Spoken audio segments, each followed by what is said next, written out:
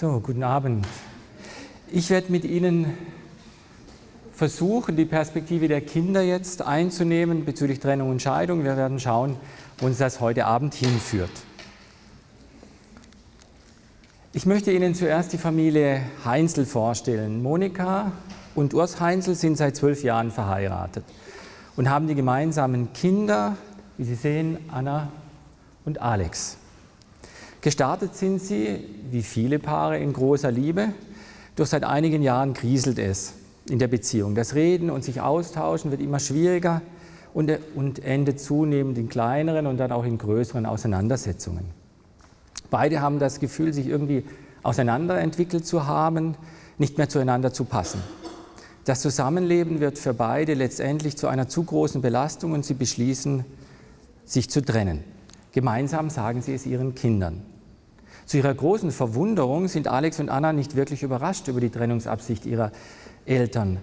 Die beiden haben von den Auseinandersetzungen von Vater und Mutter viel mehr mitbekommen, als die Eltern eigentlich gedacht haben. Die Kinder sind traurig, dass die Eltern keine andere Lösung als die Trennung sehen. Monika und Urs wollen es den Kindern nicht noch schwerer machen, als es schon ist und entschließen sich, bei einer Beratungsstelle Hilfe zu holen, wie sie das jetzt alles regeln sollen mit der Trennung. Die Familie Heinzel wird uns nachher nochmal begegnen, wenn wir uns die Situation aus Sicht der Kinder anschauen. Bevor ich nun aber mit Ihnen darüber sprechen möchte, wie wir Menschen das regeln, möchte ich einen kleinen Einblick geben, wie eigentlich Tiere Partnerschaft und Kindererziehung handhaben. Sie sehen hier ganz verschiedene Tiere. Fangen wir doch an mit der Präriemaus. Die Präriemaus ist ein Ausbund an ehelicher Treue. Wenn sich zwei gefunden haben, machen die 24 Stunden ein wildes Liebesspiel und bleiben dann für immer zusammen. Sie ziehen die Kinder zusammen auf und selbst wenn ein Partner stirbt, bleibt der andere dann allein. Er vermählt sich nicht mehr. Etwas anders macht der Schimpanse. Die Schimpansenbabys werden drei Jahre gestillt. Bis dort hat sich der Papa schon lange aus dem Staub gemacht. Nach wenigen Wochen will er eigentlich mit der Kinderbetreuung nichts mehr zu tun haben. Entsprechend lang hängen die Babys dann an ihren Müttern bis zu acht Jahren. Wieder anders macht es hier der große Otter. Der spannt die älteren Geschwister zur Erziehung ein. Wenn die Mutter auf Suche geht nach Beute, müssen die Großen auf die Kleinen aufpassen. Wieder anders macht es der Albatros. Der Wanderalbatros geht auch eine Beziehung ein, die lebenslang hält.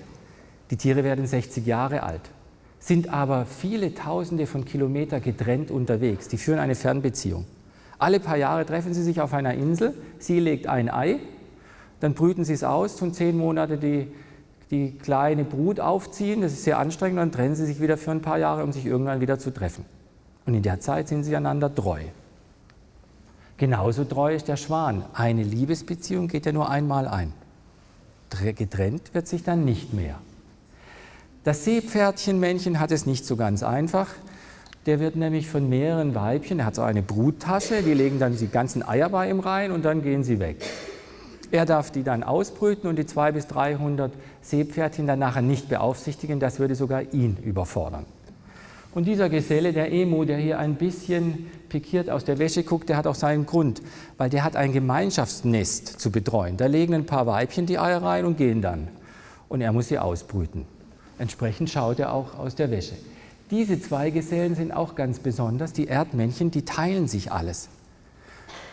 Die teilen sich die Kindererziehung, die Wache schieben, das Futter holen und passen sogar auf die anderen Kinder mal auf, wenn es notwendig ist. Der hier, das Männchen der Kaiserpinguine, ich weiß nicht, das kennen Sie vielleicht, sie legt ein Ei, schiebt es ihm unter und sagt Tschüss. Ist dann zwei Monate weg und er verliert in der Zwischenzeit die Hälfte seines Gewichts, weil er da bleiben muss. Dann kommt sie zurück und löst ihn dann zum Glück ab. Fehlt noch jemand? Ja, der Rabe. Rabeneltern. Das stimmt gar nicht. Ich weiß nicht, woher das kommt.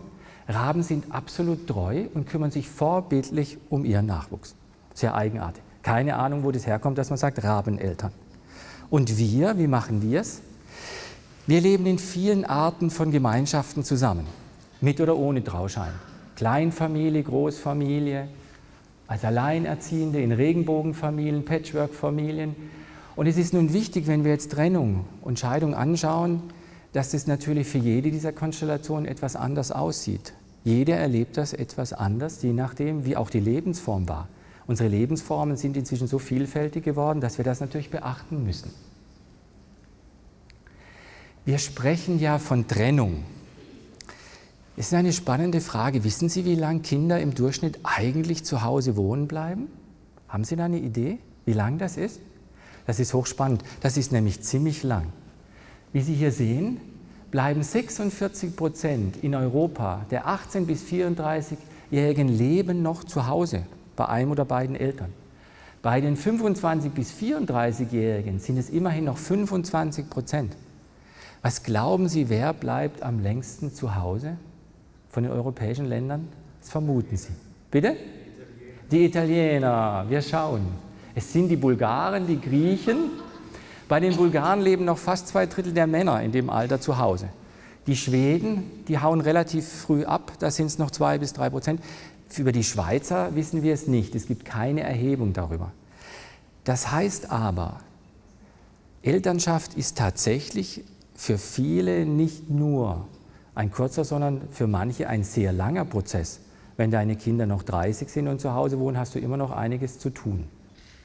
Das müssen wir auch berücksichtigen, wenn wir uns über Trennung und Scheidung unterhalten. Partnerschaft geht nicht ohne Konflikte ab. Ein verliebtes Paar zu sein ist wunderbar. Kinder zusammen zu haben ist wunderbar. Eltern zu sein, wunderbar. Aber Zusammenleben im Alltag ist anstrengend und gar nicht so einfach. Sich zusammen um Kinder zu kümmern, ist gar nicht so einfach. Zusammen älter werden ist gar nicht so einfach. Und Probleme zusammen zu lösen ist auch nicht so einfach. Entsprechend spricht man ja auch von anhaltender Beziehungsarbeit. Manchmal gelingt es gut und manchmal nicht so gut. Und manchmal kommt es zu Konflikten und Auseinandersetzungen, die länger dauern sind, und wenn die nicht gelöst werden können, dann kommt es zur Trennung. Interessanterweise haben wir uns in unserer Kultur darauf geeinigt, dass Trennungen ein probates Mittel sind, um diese Konflikte zu lösen. Das ist noch hochspannend. Nehmen wir an, Ihr Kind kommt nach Hause und sagt, du sag mal, also der, der Georg hier, mein, mein Schulnachbar, der geht mir seit Monaten so auf den Keks, könntest du dafür sorgen, dass der entsorgt wird, irgendwie in eine andere Schulklasse? Da sagt man, nein, da gehst du zum Lehrer, das klärst du, das ist in Ordnung. Wenn dein Geschwister blöd macht und du kannst es einfach nicht mehr aushalten und du gehst, würdest zu deinen Eltern gehen und sagen, könntest du dafür sorgen, dass der eine andere Familie bekommt? Dann würdest du sagen, nee, Konflikte müssen wir lösen, da finden wir einen Weg. Spannenderweise haben wir uns aber geeinigt, Paarbeziehungen mit Kindern dürfen wir auflösen. Spannend. Inzwischen wird jede zweite Ehe in Europa geschieden. In der Schweiz sind es je nach Jahr dann 12.000 bis 17.000 Kinder, die die Scheidung ihrer Eltern erleben. Und ein Viertel davon ist relativ klein. Das heißt, die erleben dann ein getrenntes Aufwachsen als Normalzustand. Viele, die zu mir kommen, haben sich die Eltern auch schon in der Schwangerschaft getrennt. Das heißt, die Kinder kennen es gar nicht anders. Da haben die Eltern nie zusammen miteinander gelebt. Ist Scheidung also für uns heutzutage etwas Normales und normal für die Kinder? Ich weiß nicht, ob Sie jemals das gesehen haben. Das sind, es ist eine Grafik, die darstellen soll, wie sich die Scheidungszahlen in der Schweiz über die letzten 110 Jahre verändert haben. Scheidung war ganz früher etwas, was völlig unüblich war. Und wir sehen so ab den 70er Jahren einen plötzlichen Anstieg der Scheidungsraten, die dann so Höhepunkte hatten und jetzt im Moment für das letzte Jahr so lagen, dass von 100 Paaren sich 41 wieder scheiden lassen. Wie kommt das? Warum dieser Anstieg? Können wir schlechter mit Konflikten umgehen? Der Hauptgrund liegt wohl darin, dass Scheidung nicht mehr so stigmatisierend ist für die Beteiligten. Und der zweite in ökonomischen Gründen. Es ist heute leichter zu überleben als Einzelperson. Äh, man, die früher war die finanzielle Abhängigkeit vom anderen viel größer. Und wir haben heute das Phänomen, dass sich viele alte Paare trennen. Ein Kollege von mir, der Anwalt ist, der hat erzählt, es war gerade ein Paar bei ihm, da war er 88 und sie 86 und wollen sich jetzt nach 50 Jahren getrennte Wege gehen und wollten fragen, wie scheidet man dann? Das heißt, es hat auch eine Verlagerung gegeben. Es trauen sich auch viel mehr Leute, sich zu trennen. Und dann hat es hier so einen spannenden Einknick. Sehen Sie das? Irgendwie, Jahr 2000 hatten offensichtlich die Leute das Gefühl, wir scheiden nicht. Da haben wir einfach eine Gesetzesreform gehabt. Und vorher haben noch ganz viele versucht zu scheiden und dann kam das neue Gesetz, alle waren unsicher und dann hat man die Scheidung ein Jahr verschoben.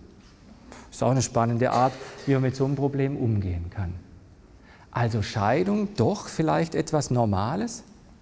Wenn wir nur die Zahlen anschauen, könnte man das denken.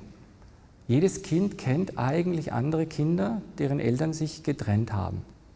In den Schulklassen ist es in der Stadt üblich, auf dem Land inzwischen auch. Ist es dann normal für ein Kind?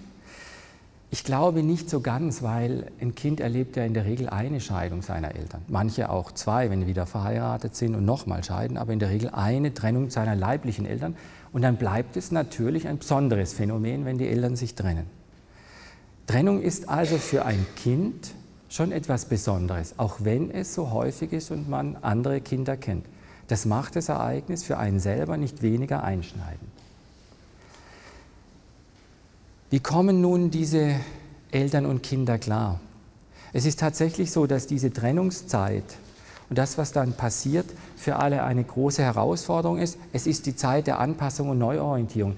Ganz banal, Sie brauchen eine zweite Wohnung. Jemand, der auszieht, braucht eine Wohnung. Sie müssen sich überlegen, wie machen Sie das mit den Finanzen? Wer betreut wann die Kinder?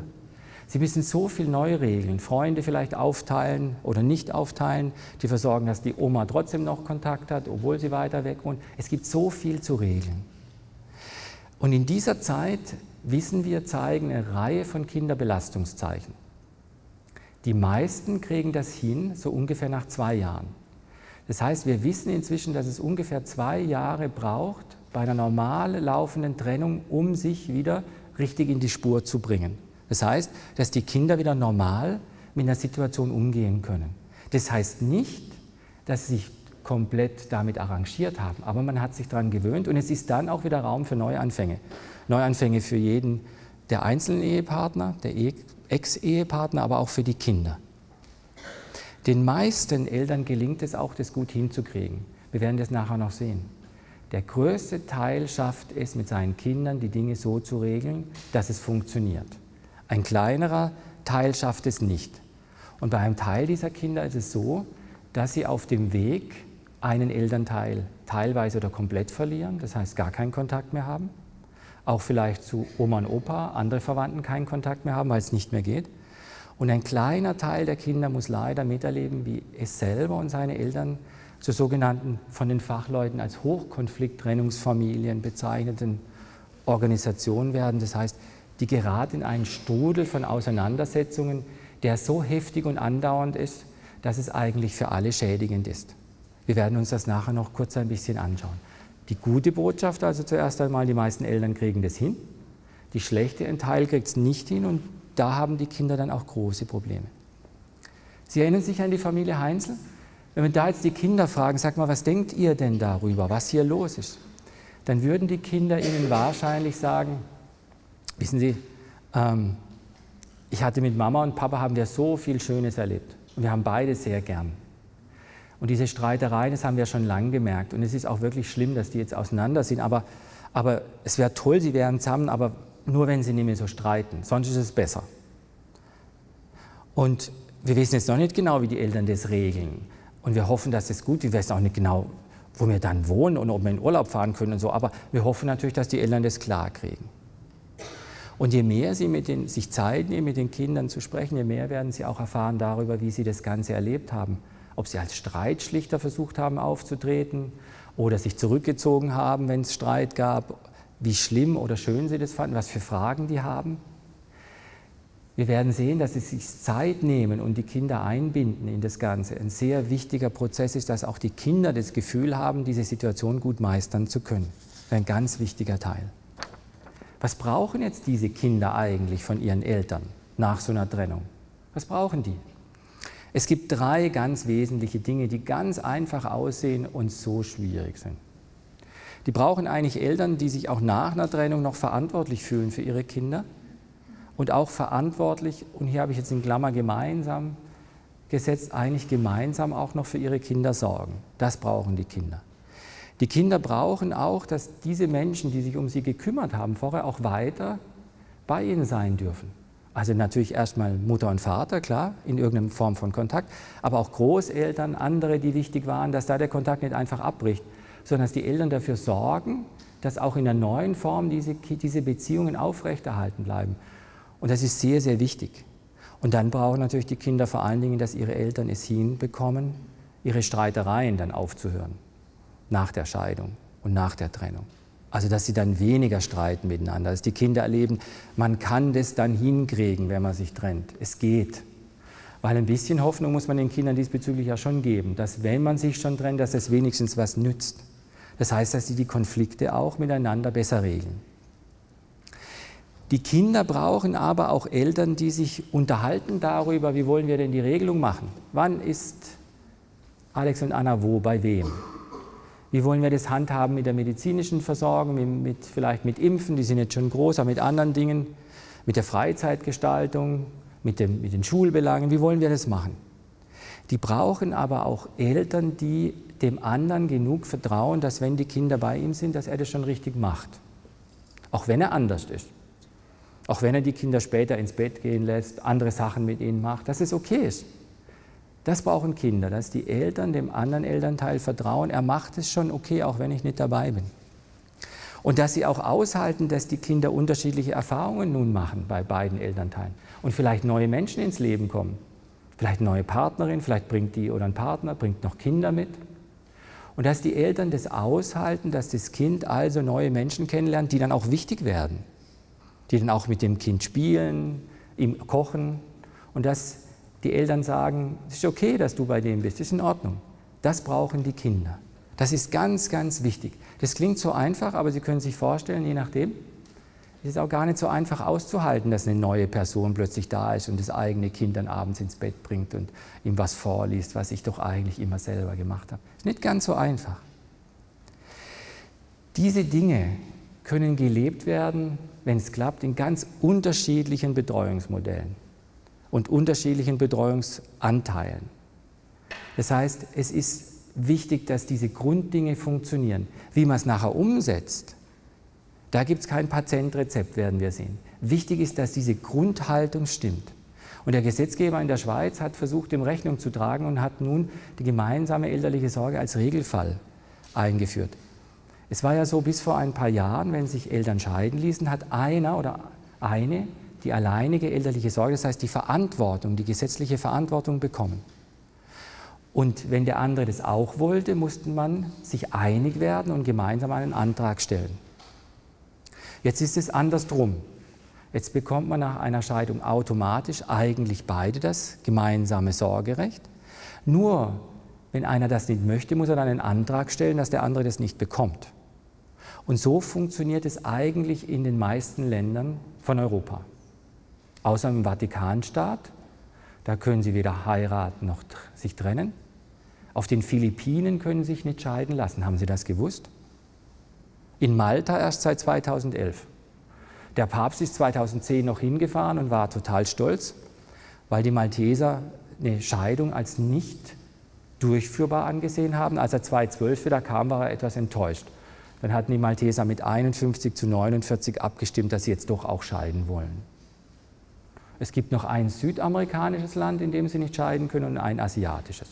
Und in allen anderen Ländern der Welt können sie Ehen unter verschiedenen Umständen auflösen. Und in der Schweiz haben wir nun das gemeinsame Sorgerecht als Regelfall, weil der Gesetzgeber davon ausgeht, es ist genau wichtig, dass sich die Eltern auch weiter eigentlich verantwortlich fühlen. Was für Lebensmodelle gibt es denn eigentlich für die Kinder und Eltern nach einer Trennung? Wissen Sie, ähm, wenn Sie dieses Bild sehen, heißt es, ein Kind muss nach einer Trennung sich ganz neu arrangieren.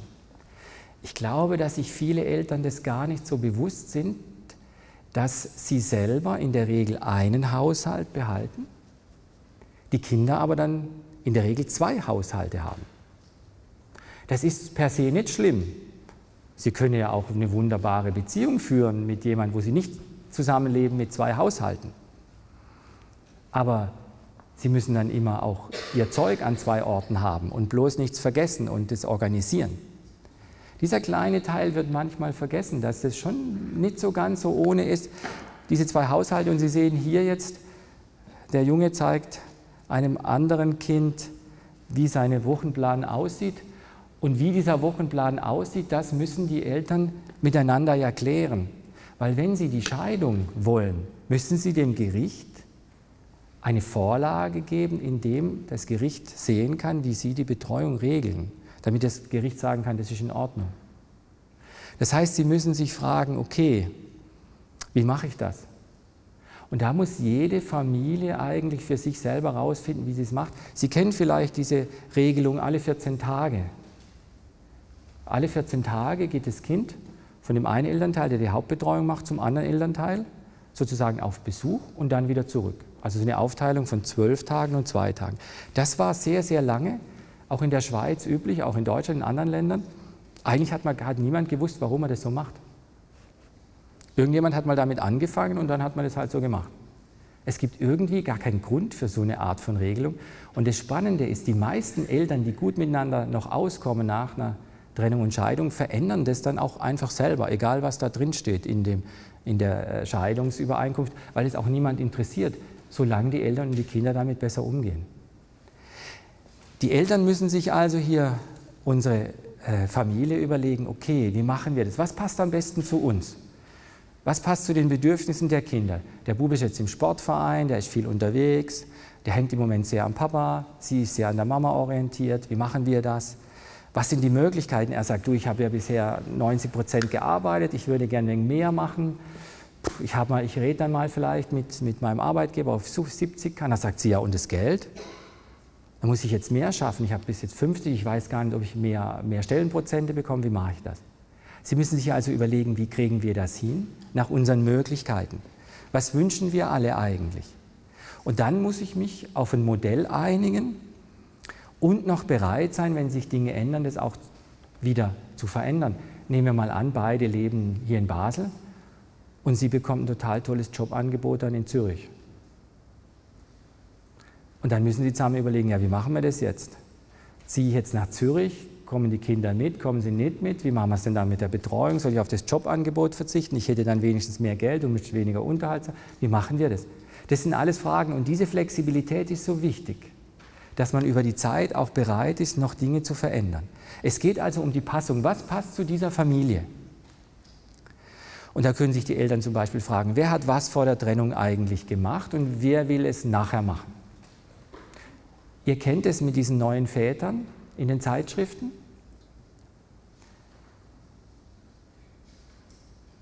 Nein? Überall steht, es gibt jetzt die neuen Väter, die sich um alles kümmern. Ganz spannend. Die Realität ist, dass 85 Prozent der Kinder in gemeinsam lebenden Haushalten und auch danach von den Müttern betreut werden, nach wie vor. Aber was sich verändert hat, ist im Kopf der Männer. Sie sind eher bereit, wenn es mal losgeht. Das heißt, viele Männer haben inzwischen die Idee, dass es gut wäre und ein kleiner Teil setzt es auch wirklich um. Die machen dann wirklich sehr viel und auch gleichberechtigt sehr viel, aber wir haben noch nicht diesen Punkt erreicht. Das seht ihr auch daran, dass unsere Arbeitswelt noch gar nicht richtig darauf vorbereitet ist, Frauen und Männer gleichberechtigt zu bezahlen und so weiter, Möglichkeiten zu schaffen. Und solange wir das nicht hinkriegen, werden Männer und Frauen nie gleichberechtigt in der Kindererziehung funktionieren können. Wir, machen, wir sind da unser eigenes Problem. Dann kann man sich fragen, wer möchte in Zukunft was machen? Was muten wir auch dem Kind zu an Wechseln bei der Betreuung? Wie wollen wir das regeln?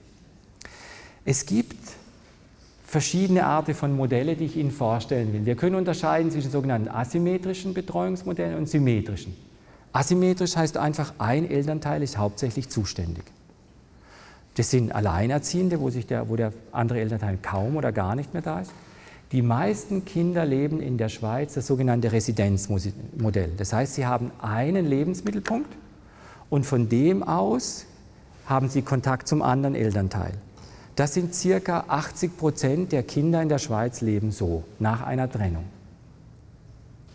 Dann gibt es die zweite Art von Modell, das sogenannte Wechselmodell und das Nestmodell. Und das Wechselmodell möchte ich Ihnen nachher ausführlicher zeigen. Das Nestmodell ist etwas ganz Besonderes. Ich weiß nicht, ob Sie überhaupt jemanden kennen, der das lebt. Das Nestmodell geht so. Die Kinder leben in einer Wohnung. Papa hat eine Wohnung und Mama hat eine Wohnung. Eins, zwei, drei Wohnungen. Die Kinder sind da, der Papa zieht eine Woche ein, kümmert sich um alles, ist weg. Mama zieht eine Woche ein, kümmert sich um alles, ist wieder in ihrer Wohnung. Und so geht es hin und her. Ich kenne eine Familie, die hat es jeden Tag so gemacht. Da kam tagsüber die Mama und abends der Papa. Sie brauchen drei Wohnungen. Und dann frage ich mich, für was haben sie sich getrennt? Weil das muss saugut klappen. Nehmen wir mal an, einer ist jemand, der es immer gern schön hat, aufgeräumt und der andere ist so ein kleiner Chaot. Dann kann der eine, der eine Woche kommt, wieder den, ja, dieses, da wo ich es kennengelernt habe, da haben mir Kinder gesagt, können Sie bitte dafür sorgen, dass einer bitte auszieht? Das ist auf die Dauer zu anstrengend. Also das Nestmodell wird ganz wenig gelebt. Viel häufiger haben wir das Wechselmodell. Und Wechselmodell heißt einfach, dass beide Eltern noch ein Zuhause für die Kinder geben, wo auch Alltag und Freizeit kombiniert werden. Weil wenn du nur Wochenende hast, bringst du das Kind in der Regel ja nicht in die Schule oder in den Kindergarten, sondern da ist Alltag und Freizeit und dieser Alltag und Freizeit so verteilt, dass man nicht 50-50, es gibt oft das Missverständnis, Wechselmodell heißt beide 50-50, sondern man spricht ab 35, 65. Also wenn Sie jetzt 14 Tage nehmen, dann gilt schon ab ja, 8 und 6 Tage gilt schon als Wechselmodell, wenn Sie es zusammenzählen. Und dieses Wechselmodell ist etwas, was in manchen Ländern schon gang und gäbe ist, der, bei den Schweden, und ganz viele Eltern das so leben. Hier in der Schweiz sind es ungefähr 10, 12, 15 Prozent. Wir wissen nicht ganz genau, weil unsere neuesten Zahlen dafür nicht so viel hergeben. Und wie kann man wechseln? Sie können jeden Tag wechseln. Sie können zweimal in der Woche wechseln, einmal in der Woche, einmal im Monat oder einmal im Jahr. Einmal im Jahr hört sich jetzt komisch an, gell? Es gibt das. Und zwar, wenn ein, ich habe das erlebt mit Eltern, die auf zwei Kontinente gezogen sind. Da ist das Kind ein Jahr bei dem gewesen, in die Schule gegangen und nachher ein Jahr beim anderen. Muss man wollen, als Kind und als Eltern. Das, was am häufigsten praktiziert wird, ist eigentlich der Wechsel Woche für Woche.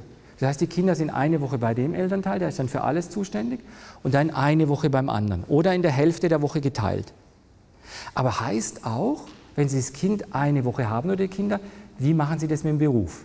Sie können ja nicht eine Woche nicht schaffen gehen. Das heißt, häufig greifen auch diese Eltern dann auf Drittbetreuungen zurück, damit es funktioniert. Und das ist ja völlig legitim, ist ja völlig okay. Also Tagesheim oder Tagesmutter und so weiter. Und dieses Modell setzt aber einiges voraus, nämlich die Eltern müssen das beruflich und finanziell hinkriegen. Ja? Das heißt, dass die Familie hat sowieso nach einer Trennung weniger Geld insgesamt, weil du zwei Haushalte zu versorgen hast. Das, das musst du schaffen. Du musst die Möglichkeiten haben, die Kinder zu betreuen und dann musst du auch innerlich bereit sein, dass der anderen Elternteil wichtig ist und einen wichtigen Beitrag leistet für die Kinder. Du musst dich abstimmen, sonst gibt es ein furchtbares Durcheinander mit dem, wie die Kinder in die Schule, Hausaufgaben, Kindergarten bringen. Und dann sagt der eine, äh, es wird ein Schulfest organisiert, ein Schullager, wer ist jetzt zuständig? Wenn der Brief in der Woche kommt, wo du bei ihm bist, ist dann du zuständig oder sprichst dich ab. Das heißt, du musst auch miteinander reden. Du musst auch bereit sein, gewisse Einschränkungen in deinem Leben einzunehmen, weil du hast eine Woche die Kinder und das ist dein Leben ganz anders wie eine Woche ohne Kinder. Das heißt, du musst dich dann auch wirklich anpassen. Du musst bereit sein.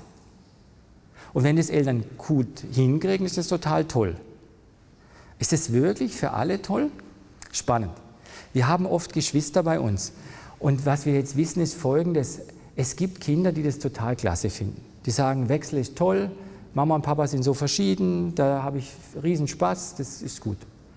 Und das andere Geschwister sagt, das ist mir zu anstrengend, ich will nicht wechseln. Das heißt, ich habe immer wieder Familien, wo ein Kind ein Residenzmodell möchte, das heißt bei einem Elternteil den anderen schon sehen, aber nicht dauernd wechseln und das andere Kind gerne wechselt.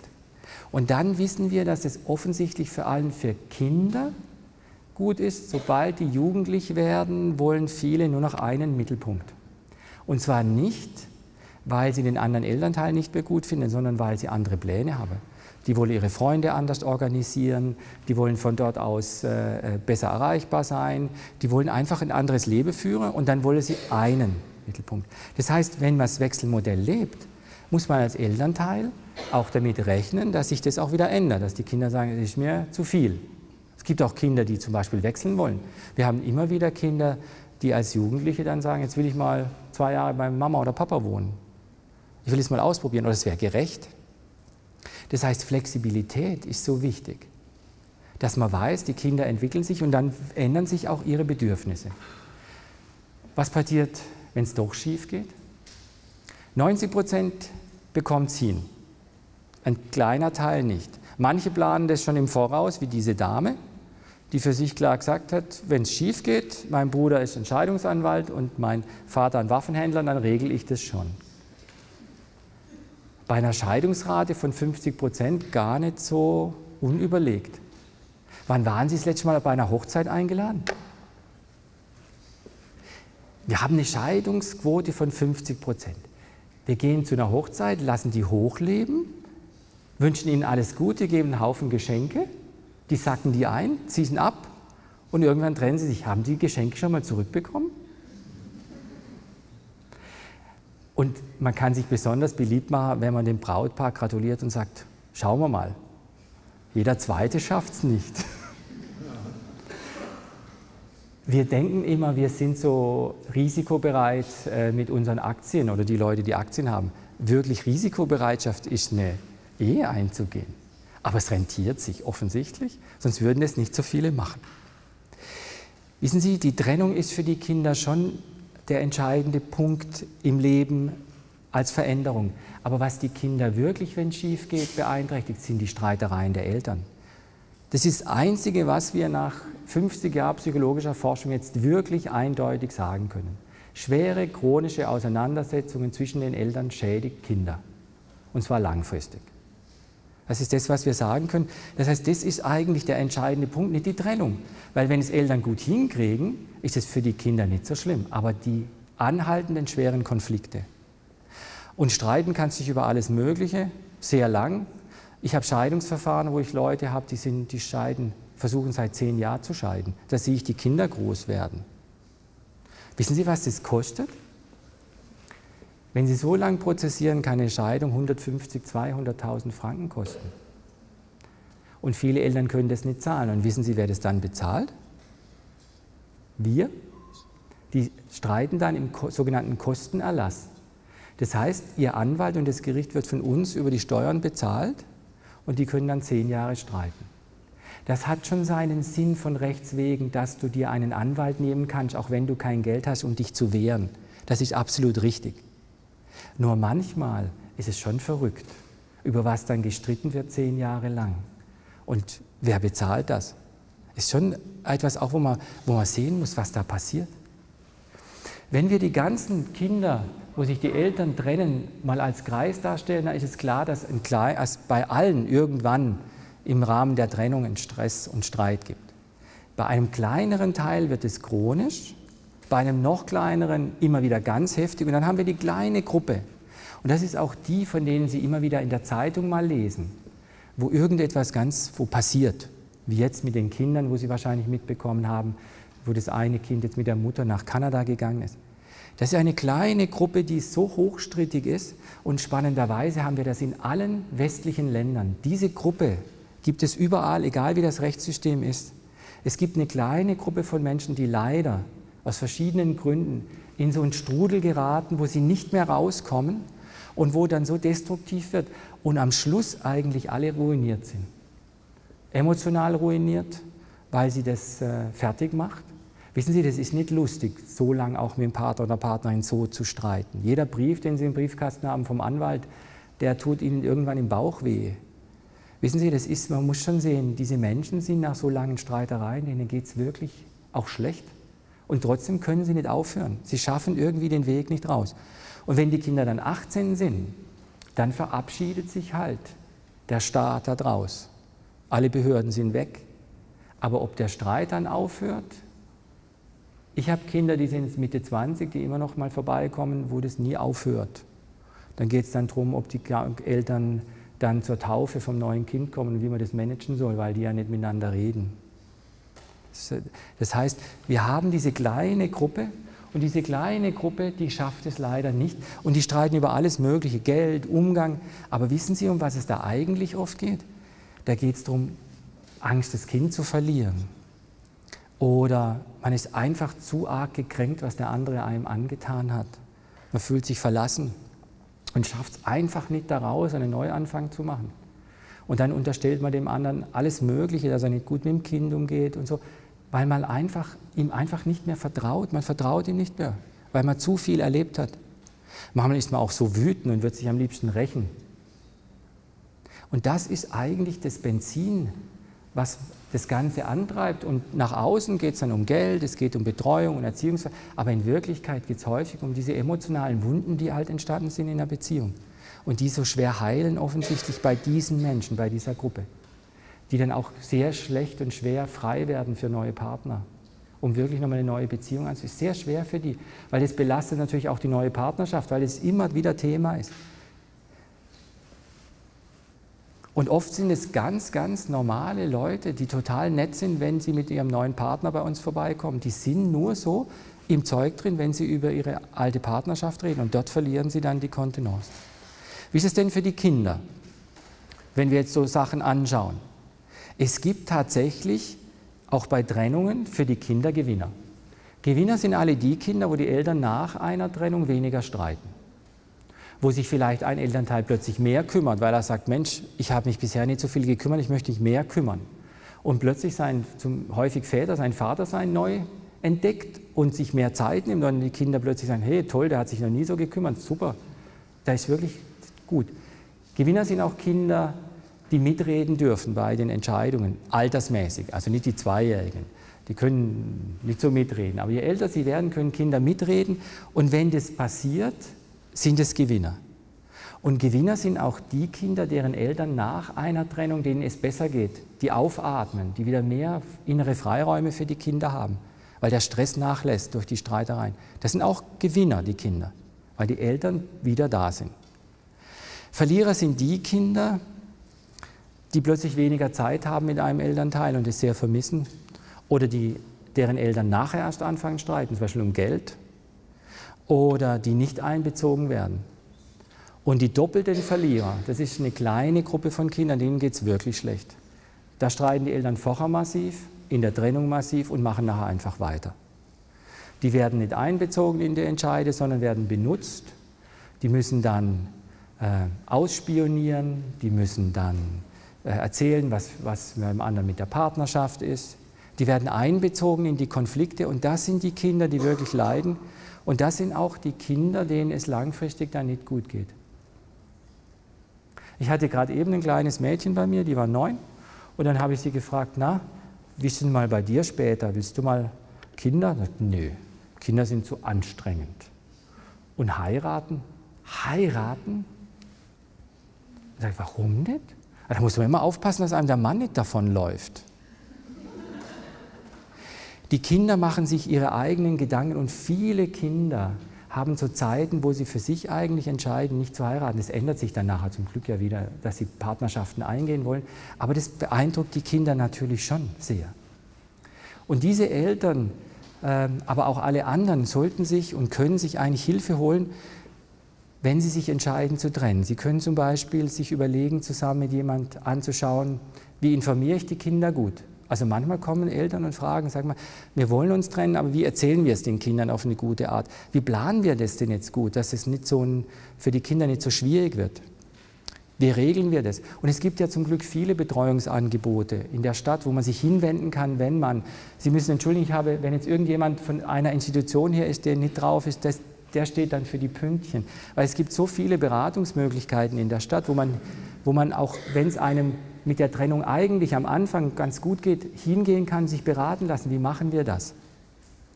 Wenn es den Kindern schlecht geht, dann ist es ganz gut, vielleicht auch bei einem Therapeut vorbeizuschauen und zu schauen, kann ich da was vielleicht an Hilfe bekommen. Und wenn es wirklich schief geht, wenn es wirklich schief geht, wenn die Eltern sich gar nicht einigen können, dann passiert eigentlich was ganz Schreckliches. Dann entscheiden andere Menschen über das, wie sie leben sollen.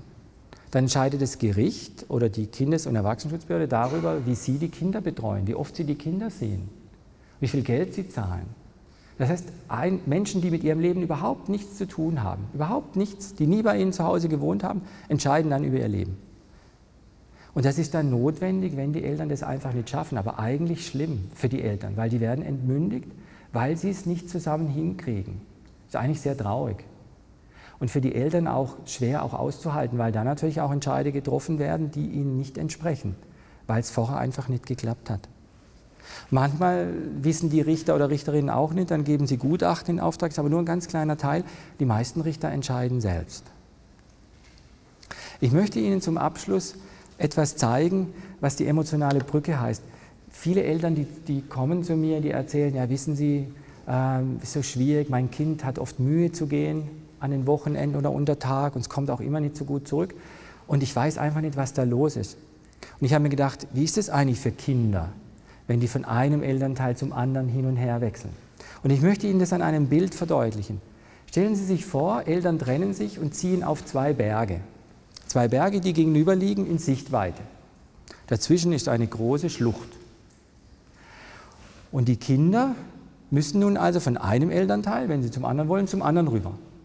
Jetzt haben die Eltern eine Hängebrücke gebaut zwischen diesen zwei Bergen, wo die Eltern, äh, die Kinder rüberlaufen können. Und diese Hängebrücke, diese emotionale Brücke ist ihre Beziehung, die sie noch haben. Die Kinder laufen also noch über die Beziehung rüber zum anderen Elternteil. Stellen Sie sich also vor, es ist Zeit, dass der, das einigtes Kind rübergeht und dann zum Papa geht. Und dann sagt die Mama, schau mal, jetzt ist Zeit, da drüben steht der Papa, der winkt schon. Schau mal, und du kannst jetzt rübergehen, hast eine gute Zeit, hier hast du deinen Rucksack und jetzt geht's los über die Brücke. Das Kind ist ein bisschen aufgeregt. Sind Sie schon mal über eine Hängebrücke rüber? Ist schon aufregend. Wenn man es schafft, ist dann toll. Dann ist man total stolz. Und die Mama sagt, du schaffst es, das geht gut. Das Kind geht so ein paar Schritte rüber, dreht sich um, Mama winkt, du schaffst es. Papa sagt, komm, ist gut. Das Kind geht rüber, Papa empfängt es, Freude, schön, dass du das geschafft hast. Sie haben eine gute Zeit, dann ist Zeit wieder zum Rübergehen. Papa sagt, jetzt geht's wieder rüber. Zur Mama, die freut sich. Sagst ihr einen Gruß, du schaffst es. Das Kind ein bisschen aufgeregt, wieder über die Brücke. So ein kleines bisschen Höhenangst schon, geht rüber. Mama steht drüben, komm, empfängt es, fragt, na, wie war es beim Papa? Sagt, cool, kann ich dir zeigen, was wir gemacht haben. So. Sind Sie schon mal über eine Hängebrücke, wenn es windet? Wissen Sie, was dann mit einer Hängebrücke passiert? Die macht so. Wind ist in diesem Bild Ärger zwischen den Eltern. Wenn die Eltern also anfangen, Ärger miteinander zu haben, fängt diese Brücke, diese Verbindung an zu schwanken. Und dann sieht die Situation so aus. Das Kind steht da und die Mama sagt, es ist Zeit, rüber zu gehen. Das Kind steht an der Brücke, das Ding schwankt. Okay, bin schon oft rüber, ich schaffe das. Mama sagt, komm, geh jetzt. Papa drüben winkt, komm rüber, ist alles gut. Komm jetzt, lauf. Das Kind versucht rüber zu gehen, schafft es, ist drüber aber total angestrengt. Ich meine, hey, das war eine Anstrengung. Papa beruhigt, das hast du gut gemacht, hast du es geschafft, wir haben jetzt eine gute Zeit, wir haben eine schöne Zeit. Und dann sagt jetzt ist wieder Zeit zum Rübergehen. Das Ding schwankt. Puh, muss ich? Ja, klar, die Mama wartet. Puh, das Ding schwankt so. Geh doch du rüber. Nee, ich habe mich getrennt. Puh, geht das Kind rüber, kommt drüben an, angestrengt. Jetzt stellen Sie sich mal vor, es regnet auch noch und das Ding schwankt wirklich noch ärger. Es gibt Blitz und Donner, das heißt, es gibt wirklich Stress zwischen den Eltern. Vielleicht sogar so, dass die Eltern die Brücke gar nicht mehr pflegen. Es gibt erste Brüche in der Brücke. Und dann kann es sein, das Kind steht da und sagt, ich gehe da nicht drüber. Seid ihr lebensmüde? Ich bleibe jetzt hier. Und in diesem Bild bedeutet es einfach, dass wenn die Eltern nicht zur Verfügung stellen, eine Bereitschaft, dass ein Kind wechseln kann, es oft auch klar ist, dass das die Kinder belastet, weil diese Übergänge dann anstrengend werden. Es sind dann die Übergänge, die wirklich für viele Kinder dann, wenn es viel Streit gibt, unabhängig davon, ob es ein Elternteil gut macht oder nicht gut macht, einfach anstrengend ist. Bleiben wir kurz in dieser Geschichte. Und es gibt also diesen Wind und den Streit. Ähm, und vorher hat das Kind immer, wenn es zum anderen Elternteil geht, einen Fotoapparat dabei. Wenn Sie in Urlaub fahren, haben Sie ein Foto dabei, machen Bilder vom Meer, von den Bergen und zeigen das zu Hause. Das Kind auch. Kind war beim Papa, so kommt zurück zur Mama und sagt, guck mal Mama, mein Fotoalbum, was ich alles beim Papa gemacht habe. Hier haben wir zusammen gebacken, da hat er mir bei Mathe geholfen, da war so. Und die Mama, wenn alles gut ist, sagt, oh toll, ah, das, das kann der Papa natürlich klasse. Da, das hast du gut gemacht, ach schön. Und umgekehrt zeigt bei der Mama, beim Papa die Bilder von der Mama. Jetzt stellen Sie sich aber vor, Sie sind auf den anderen nicht mehr so gut zu sprechen. Dann zeigt das Bild auch, das Kind auch sein Fotoalbum, sagt, schau mal, da tue ich ganz toll mit dem Papa backen. Aha. Und schau mal, da ist seine neue Freundin. Oh, wer ist das? Die neue Freundin. Aha, zeig mal genauer, wie ist denn die? Habe ich vergessen. Wenn ich nächstes Mal wieder komme, kann ich anfangen als Kind Bilder auszusortieren. Das von der Freundin nehme ich raus, das vom Backen nehme ich raus. Guck mal, Mama, was wir gemacht haben. Hausaufgaben noch gemacht und da und das. Aha. Und wo ist die Freundin? Die, die, das weiß ich jetzt nicht. Du, ich finde es ganz gut, wenn du da mal ein paar Bilder machst für mich. Ah, geh ich rüber, mach ein paar Bilder, zeig das. Und wenn das nicht aufhört, haben die Kinder nachher zwei Fotoalben. Eins für die Mama und eins für den Papa. Und dann bekommen die, die Eltern immer weniger mit, was wirklich ist. Und die Kinder machen doppelte Buchführung. Weil was sollen sie auch anders machen? Was sollen sie anders machen? Weil das ist dann die beste Taktik, um damit klarzukommen. Und mit diesem Bild können Sie vielleicht manche von den Dingen dann eher verstehen, warum das, dieser Übergang für die Kinder manchmal Stress ist. Und warum das toll ist, wenn Eltern das schaffen, diese Brücke so zu pflegen, dass die Kinder frohen Mutes rübergehen und gestärkt zurückkommen. Und wissen Sie, man weiß nie, was die Kinder genau denken. So wie er hier. Mutti und Vati lassen sich vielleicht scheiden. Sie streiten schon darum, wer das Haus verlässt. Ich will das aber nicht. Ich will nicht, dass Vati geht. Ich will auch nicht, dass Mutti geht. Ich will, dass beide gehen.